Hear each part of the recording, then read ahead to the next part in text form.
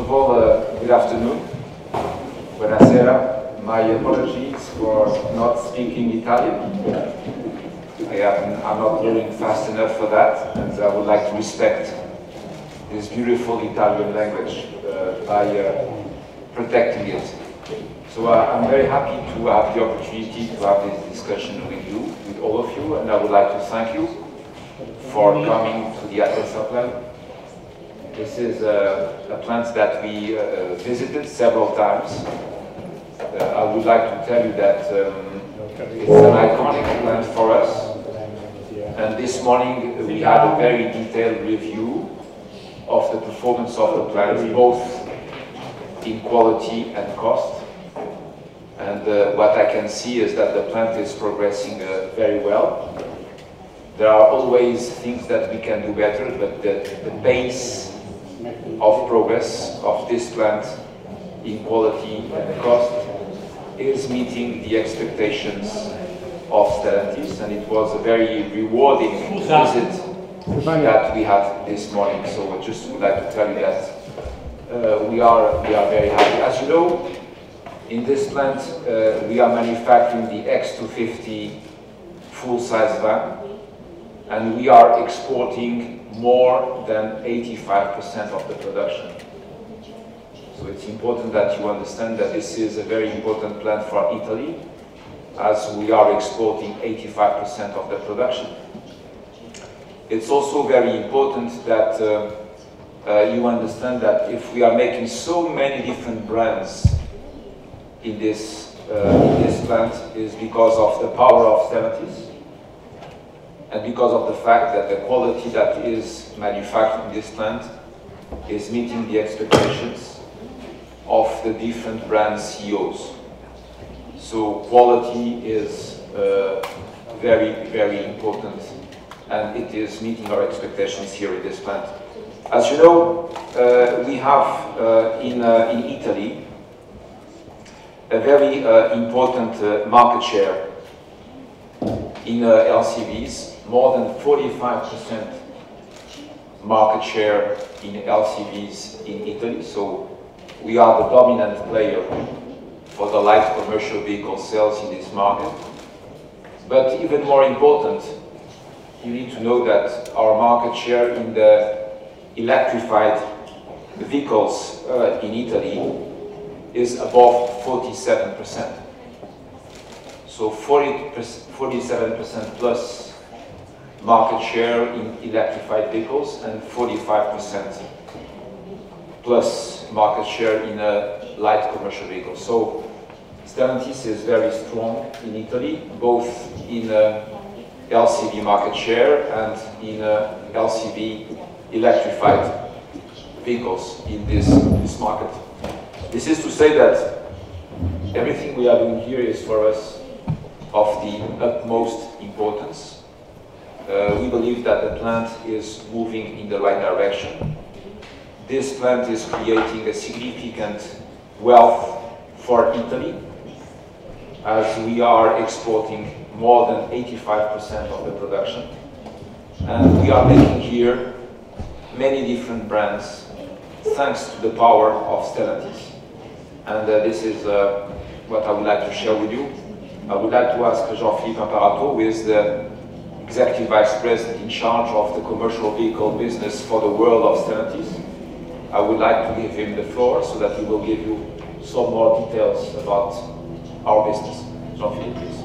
Grazie Carlos, uh, buon pomeriggio, benvenuti. So che avete fatto alcuni di voi 6 ore di treno per raggiungere la testa, questo mi fa assolutamente piacere ovviamente, questo pomeriggio.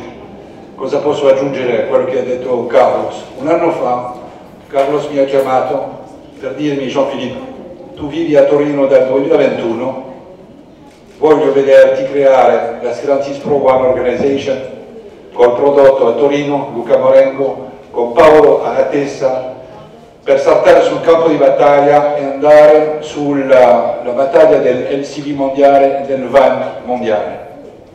Abbiamo, fin abbiamo finito l'anno 2023 con 1.800.000 macchine vendute prodotte nel mondo questo è Stellantis Pro One.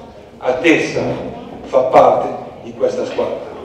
Entro meno di quattro settimane Atessa lancia nel mondo quattro macchine, Opel, Peugeot, Citroën, Fiat Ducato, che rappresentano la gran parte dei 30% dei van del mondo che fanno la posizione di Stellantis Pro One assolutamente fantastica. Carlos ha parlato di 46% di quota in Italia. Posso aggiungere qualcosa? In questa Italia Ducato da solo fa 30% del segmento del Verge e se aggiungo Ducato, Boxer, Jumper, Movano facciamo 45% del segmento.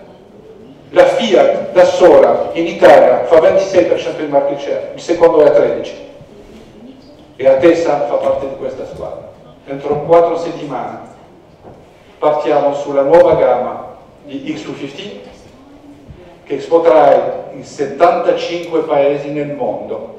Quindi Atessa come punto di riferimento per me, come benchmark per esportare dall'Italia nel mondo è una realtà e ovviamente fa parte della Stellantis Pro Organization. Grazie, Carlos. Thank you. Thank you very much, Jean-Philippe, for giving us those important details. I think it's time to go for the Q&A. So I'll let you manage the Q&A. I know you have lots of questions to ask. Thanks a lot, Mr. Tavares. Eh, allora adesso andiamo con la sessione delle domande, vi chiedo solo la cortesia di alzare la mano io gli, ho dato un microfono e dire ovviamente il nome della testata che rappresentate oltre il vostro nome.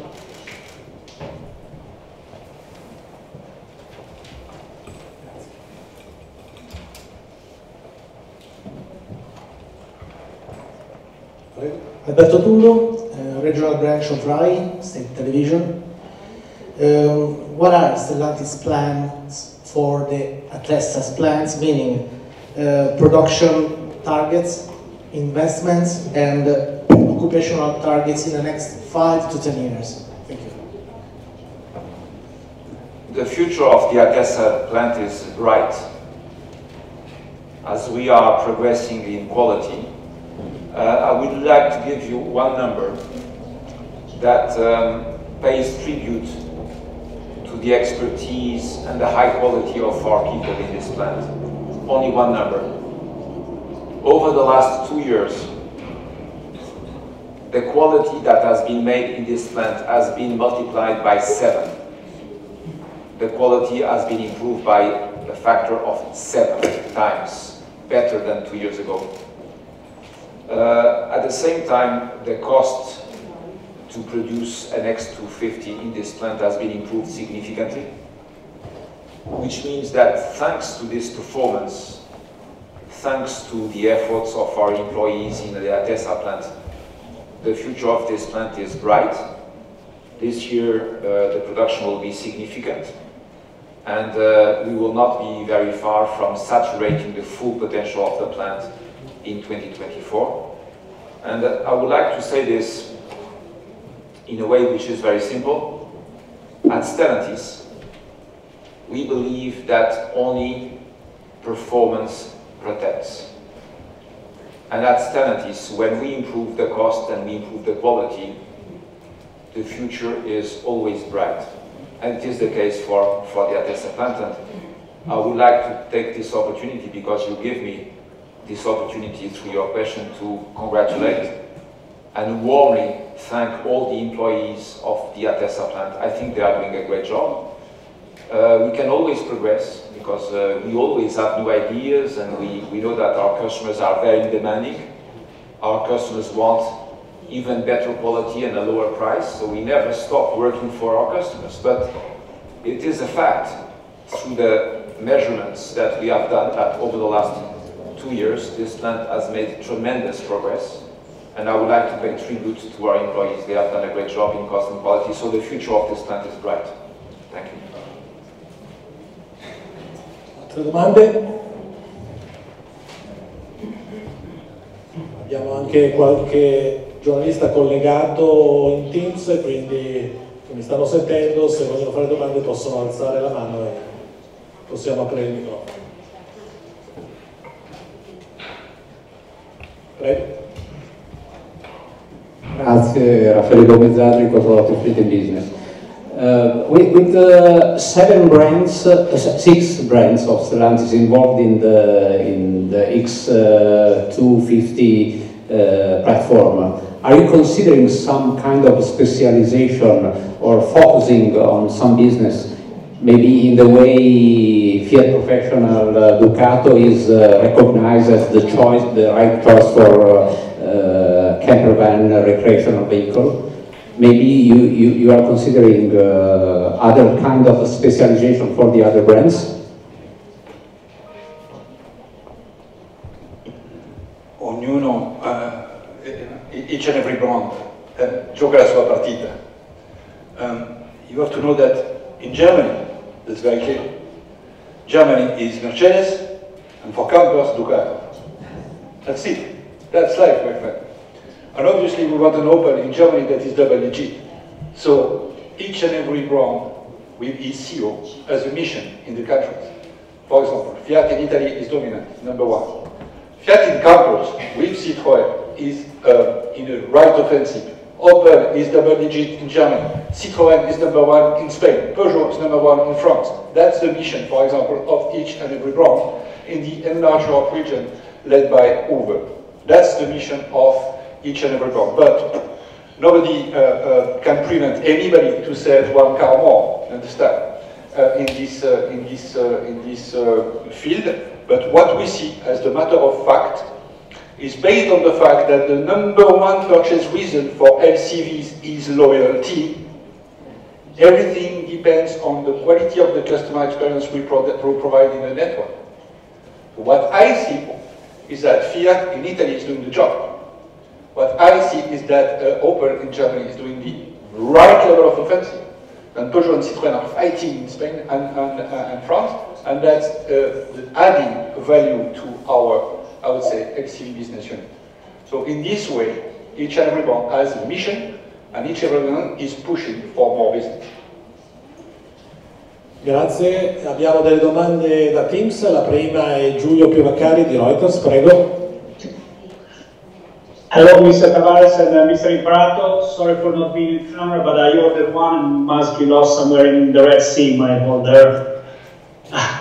no, quick question. Uh, you said in the statement that uh, that uh, uh, you aim to be uh, LCV market leader worldwide with Stellantis. I understand number one in the market is Ford, so how far in terms of market share you are from uh, Ford, and uh, what's the um, the time range uh, when you plan to, to catch up with Ford? Thank you. Uh, first, you are right. Uh, you are right to, um, to say that we are looking for the leadership. Uh, when we look at the places where we have potential to improve, we see that basically we are doing a good job uh, in, uh, in Europe. We are uh, growing our market share since H2 2023, so we are improving our market share. We know that in Africa, Middle East, we are also improving significantly our market share. We will continue to improve in uh, Latin America and we have still significant work to do in the US uh, with our Ram brand. But um, I would like to uh, just share with you some good news. Uh, I think that 10 days ago I was in the US and I had the privilege of delivering the first ProMaster EV to our customer Amazon. As you know, the ProMaster EV is the same as the X250 EV version and we have done a specific van version for Amazon with as you know, a very demanding uh, customer from a logistic, last mile delivery logistic perspective. And we have made specific engineering for specific features to enhance the efficiency and the effectiveness of the last mile delivery work of a company like Amazon. And this product was very well received by our customer that considered that the features that have been developed for their specific needs are uh, meeting their expectations and uh, that was very good news. So we expect to uh, now go on the offensive in the US market with our ProMaster EV, which by the way is the first EV product, pure EV product that we launch in the US market. So overall, very good progress in uh, Europe, Latin America and Africa, Middle East. Still some work to do in the US, but starting. And of course, uh, a lot of opportunities in ASEAN that we still need to tackle. But you will hear more from us very soon on some other, uh, I would say, uh, breakthrough initiatives that we are taking on this matter, and Jean-Philippe will communicate that uh, in due time. Of course, this is a very nice competition. We love it. We are racing. We'll see if uh, we can win this race. I think it's fair to say that uh, we need a few years. So let's just consider that this is going to be done within the time window of the Forward 2030 plan. And we believe that within that time window, uh, we have the potential to win this race. This is the time window in which we are operating. Thank you for your questions. Ora Albertina Torsoli, Bloomberg, prego. Eh, domanda, buongiorno. Domanda per Carlos. Carlos, mi hanno detto di farle una domanda in italiano, quindi provo a farle le domande in italiano, se per lei va bene. Allora, la prima, la prima è il gruppo Big Picture. Um, abbiamo visto nei mesi scorsi certe società, una per esempio Volkswagen, ma Ford l'altro giorno, anche Tesla, avere difficoltà loro, nei loro grandi ambiziosi piani di elettrificazione. Lei crede che sia solo un pump eh, di un periodo o crede che queste, um, questi momenti di difficoltà potrebbero tornare molto più a lungo? Il, il mondo futuro è un mondo EV o non EV per lei? E poi una eh, seconda domanda sull'Italia, visto che lei oggi è in Italia, eh, già il ruolo di Atessa, una fabbrica che io non conosco come vive lei posizionato a Atessa, mi chiedo scusa non essendo presente in oggi. E poi c'è stato un po' di mh, scandalo sui giornali su una lettera che Stellantis avrebbe mandato uh, a dei fornitori italiani decantando il Marocco. Lei ha parlato spesso di paesi del nord e paesi del sud. L'Italia dov'è oggi in, questo, in, in questa sua visione del mondo, del suo futuro?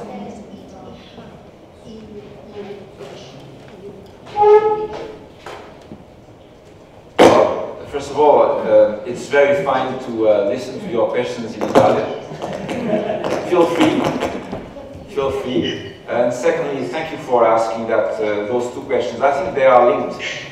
They, they are, uh, we could bundle the two questions to answer you. Uh, as, as you know well, because we have, uh, we had the opportunity to discuss several times, the only remaining problem for EV adoption is affordability. you know that uh, the problem that uh, we are facing today is that dogma is hitting uh, reality. And uh, we need to make sure that the electric vehicles are affordable for the middle classes. If the EVs are not affordable for the middle classes, then the impact on the planet will be limited because the volume of sales will be limited. So if we want to be sincere and have a positive impact in fixing the global warming issue, we need to sell EVs at a high volume, hoping that they will be recharged with clean energy. And we can only sell EVs at a high volume if they are very affordable. We all know, and this is not new, that uh, the EV technology is 40% more expensive than the ICE technology. This is no news. We have been bragging this for the last six or seven years.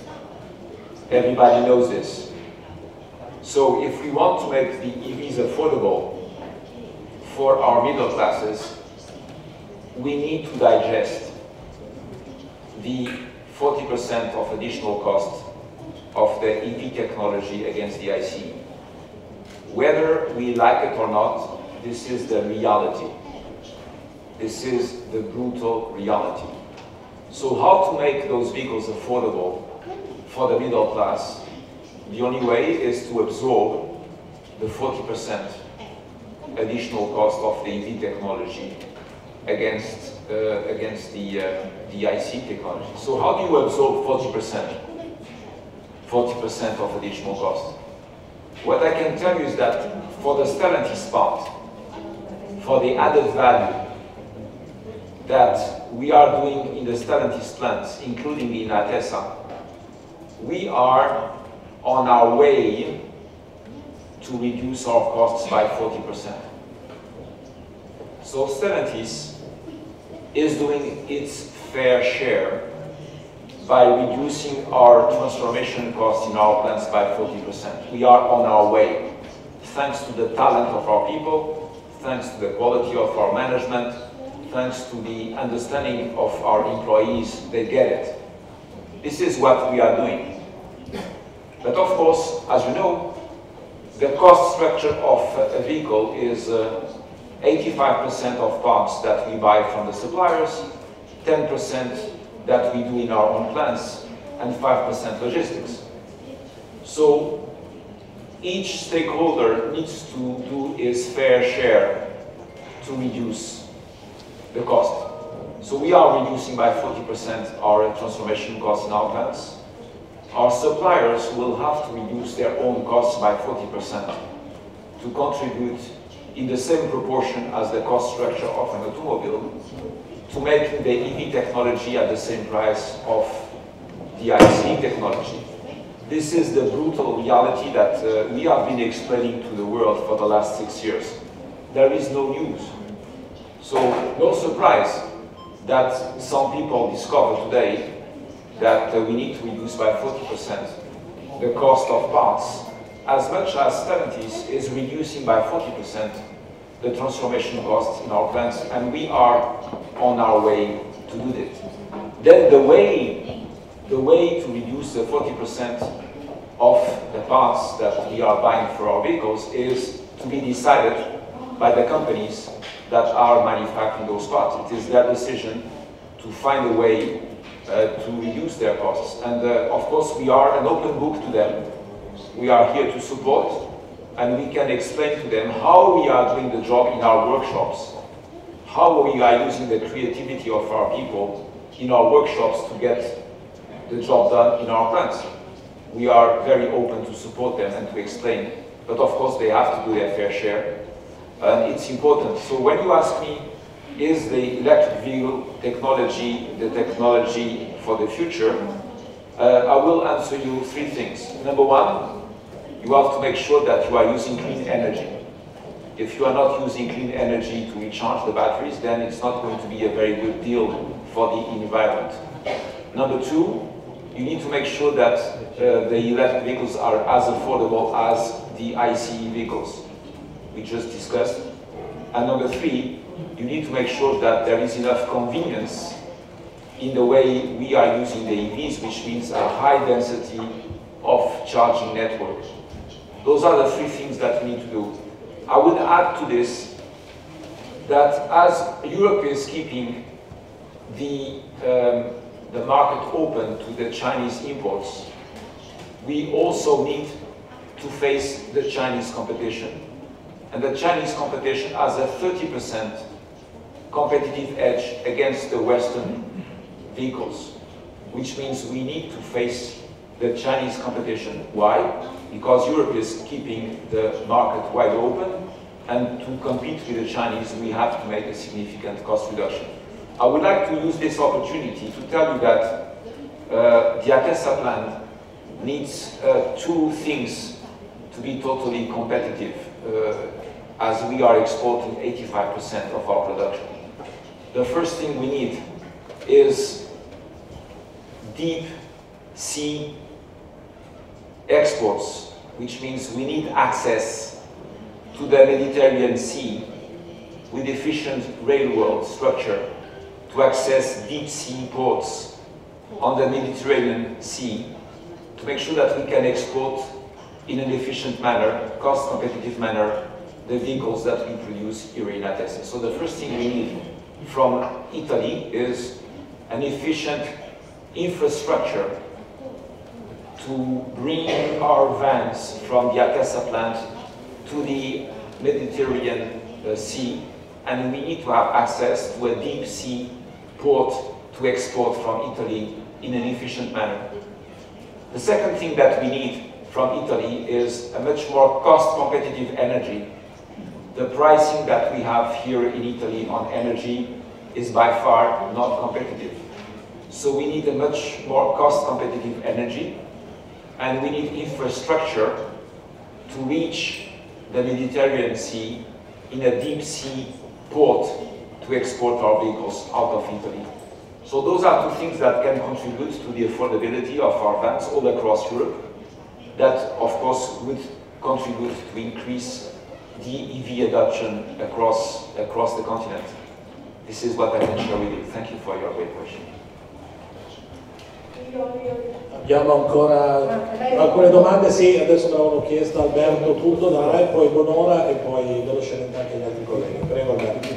Ah, tu? Il microfono? Ah no, scusa, va bene, va bene. Va bene, va bene. Sorry. Mister Tavares, sono Amalia Angotti dell'agenzia ANSA, scusi se faccio la domanda in italiano.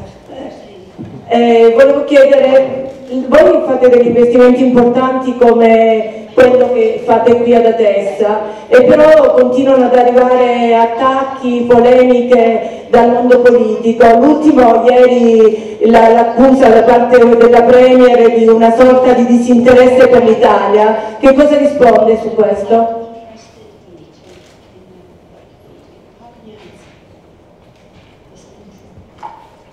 First of all, please feel comfortable in asking me questions in uh, Italian. You are in Italy.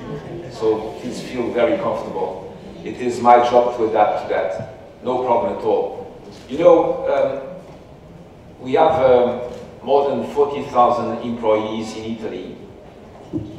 They are working very, very hard to adapt the company to a new reality that has been decided by the politicians. This new reality that has been decided by politicians is putting our societies and our companies in a position that is deep and fast transformation. So the first thing I would like to say is uh, to pay respect and express my warm congratulations to our Italian Stellantis employees for the speed at which they are adapting to a new world for the depth of the transformation that we are doing in the company. So uh, I don't think that my Italian employees appreciate that comment. And I don't think I have to answer to that. I just pay my respect to my employees. They are great people. They are doing a transformation at a depth and a speed that no European country would be able to match no European country would be able to match the speed and the magnitude at which our Italian teams are transforming their company to adapt a new, to a new reality. So I just want to pay my respect and thank warmly my employees for what they are doing for their company. Whatever criticism we receive, then so be it. You will be judging our results. You will be judging what we bring to the Italian society in terms of safe, clean, and affordable mobility. We are here to serve. We are here to serve the Italian freedom of mobility with clean, safe, and affordable mobility. This is the reason why we are here, and that's enough for me. I don't have to answer any other comment on this, on this front. Thank you. Vi chiedo ancora due velocissime domande, perché poi dobbiamo scappare. Mr. Tavares, uh, I would like to know if if Stellantis is still committed to committed to building the Thermolis Gigafactory, and even eventually how these two plants, Atessa and Thermoli, can uh, create an interplay between them which adds value to the territory of Abruzzo and Molise. Thank you. What kind of value? Thank you. Well, thank you for that question. Uh, you know, over the the time window of the Dare Forward 2030 plan, we are investing more than 40 billion euros in gigafactories around the world. Three of them are in Europe, and one of them is, as you said, in Termoli, uh, which is a great opportunity for the transformation of Termoli. And again, I would like to thank the employees of Stellantis in Termoli for the efforts that they are going to make to transform their plant. This is one more example of uh, the thoughtful thinking of this company to transform itself, to adapt to a new reality. Very deep transformation, very fast transformation. What do we get from this? Criticism. So what we are doing is quite remarkable. What our employees are doing is quite remarkable. And it is quite clear that you will have synergies between Termoli and, uh, and this plant, of course, at one point in time. Those synergies will happen because it is quite clear that in the current mandate from the European Union, this continent will be about selling EVs. That is what the European Union has decided. The European Union has decided to ban ICEs from 2035, which means that from 2035 we can only sell BEVs which means that in this plant we are going to make BEVs, which means that there will be, of course, an interaction between this plant and uh, of course. This is why we are doing it, for the good and for the future of Termoli and for the good and for the future of this plant. What do we get for it? Criticism. That is not fair to our employees, to our Italian employees. And again, I would like to thank them. They are excellent people, doing an excellent job, which is very difficult. And I'm here to support them, because they are bringing to this society freedom of mobility. Mobility that is safe, clean, and affordable. It's very difficult. We should support them. Thank you. Luigi Bonora. Buongiorno, dottor Tavares, Luigi Bonora del giornale. Tre domande rapidissime eh, il um, capo del Partito Popolare Europeo tedesco Weber proprio in queste ultime ore ha detto che se passa la maggioranza nuova in Parlamento Europeo e in Commissione eh, nel 2035 rimarranno i motori endotermici e quindi in contrasto con quello che ha detto adesso, se dovesse succedere. La seconda, cosa ne pensa eh, della volontà del governo adesso quando presenterà il primo febbraio il piano incentivi definitivo che vogliono dare incentivi anche alle auto usate Euro 6 in cambio della demolizione di vecchie automobili. L'ultima domanda, eh, il governo italiano eh, dà la caccia a un costruttore straniero da affiancare al gruppo Stellantis. Beh, c'è già Lamborghini che è Audi, però ovviamente non ha la capacità che ha Stellantis. Lei cosa ne pensa di questa volontà? È una missione, una mission impossible o una mission possible? se ne parla da anni, da decenni di questo, di portare un costruttore in Italia a investire. Se lei fosse capo di un'altra realtà, non questa qui, che farebbe? Grazie.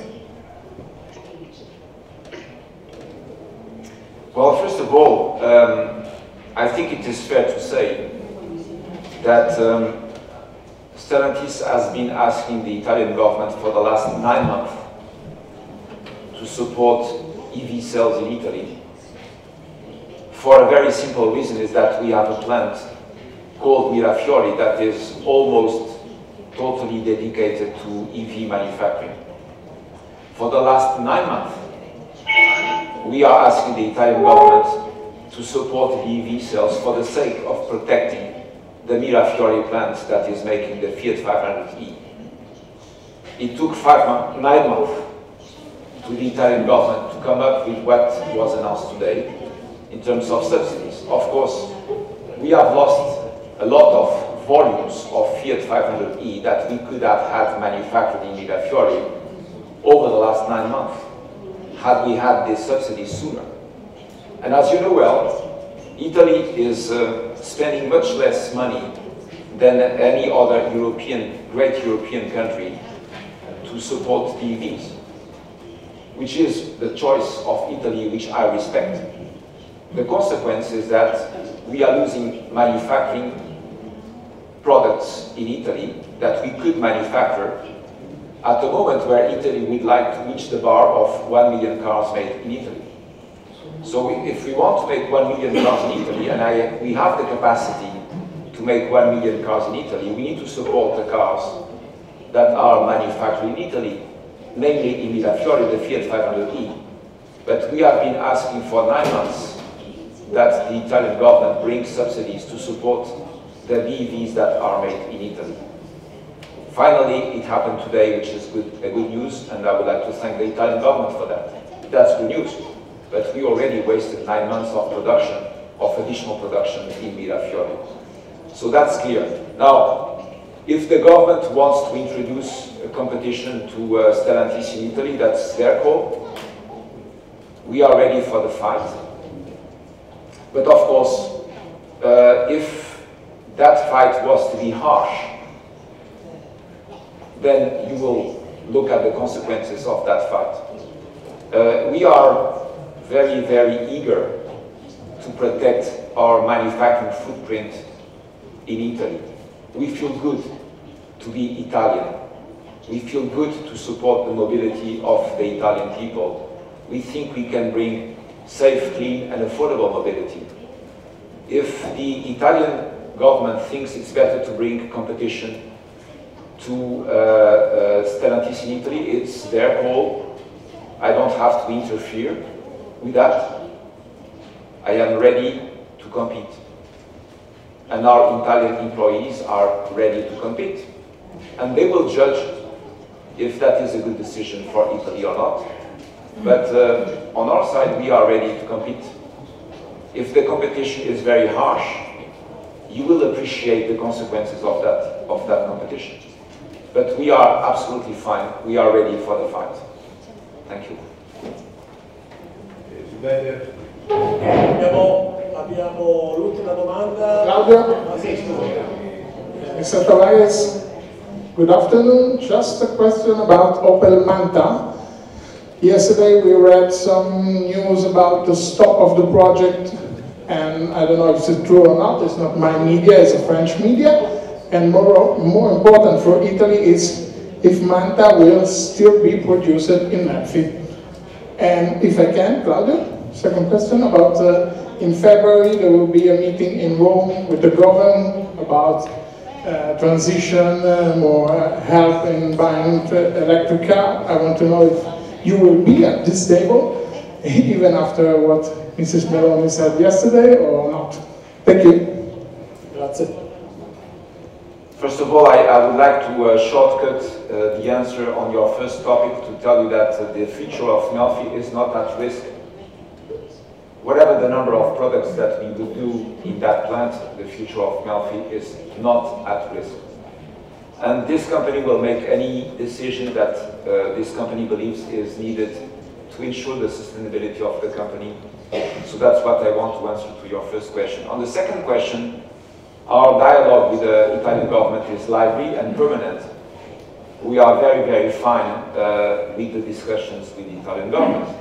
Uh, this being said, uh, you can count on us to put the brutal facts on the table. Uh, you can count on us to be straightforward, to explain what is the reality of this industry, to explain that what is asked this industry is a daunting transformation, and this daunting transformation, of course, is going to lead to many other transformations around our company. And you cannot ask us to adapt to this new reality and at the same time uh, expect that nothing will change around us. This is the reality that we are facing. So our company is transforming itself very quickly. And again, I have no other words than thank you and congratulations to my Italian employees. They are doing great. They are doing great. We can always do better, we can always do faster, but the level of transformation that they are doing is excellent. And therefore, our continuous dialogue with the Italian government will continue. We are totally open and we are totally open to explain the reality of our industry. There is no demagogic comments on our side. We are just telling you that what the European Union has decided is that we have to absorb 40% of additional costs of EVs against ICEs.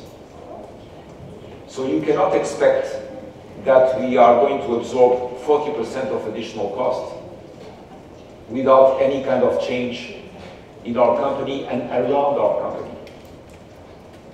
By the way, in addition to that, you can add that if uh, the European Union is eager to bring the Chinese car makers to the European market, we will face the Chinese car makers. We will face the Chinese car makers. But please, make sure that you understand the consequences of that.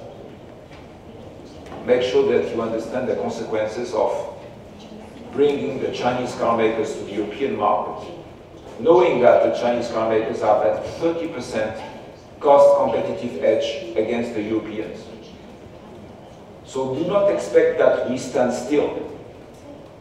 Do not expect that uh, we promote the status quo in such a situation. We are going to move. We are moving. Our people are moving. Do not expect that things will continue to be as they were in the past. Because the conditions that are being created in Europe is for a significant change in the way we promote safe, clean and affordable mobility. So again, what is important for me today is to thank my Italian employees. They are doing great. And frankly, I don't think that they appreciate unfair criticism. But please ask them. Thank you. Grazie a tutti, vi prego di rimanere seduti perché purtroppo Mr. Tavares deve tornare velocemente a Torino, quindi eh, state, continuiamo la nostra conferenza e salutiamo Mr. Tavares. Mr. Prato, closing remarks, Mr. Tavares? No, I just would like to thank you all. I, I thank you. I very much appreciate the fact that you came to see us here in Atessa. I know that you are going to visit the plant. Please, please, please congratulate my Nissan employees, my Italian employees. Please congratulate them. They are doing a great job. And I'm very, very proud of them. And uh, this is what I would like to ask you. Please congratulate them. They are doing a great job. They are improving the quality seven times in two years.